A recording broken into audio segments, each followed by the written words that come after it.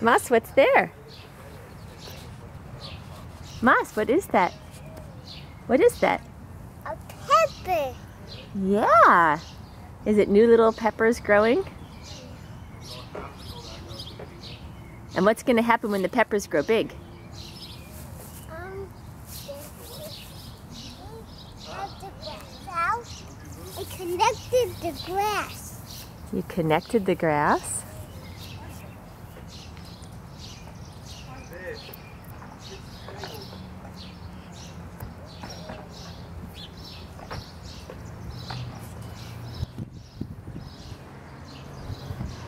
Moss, what are, what's going to happen when the peppers grow bigger? Um, they can have seeds. They can have leaves on them. And what are we going to do?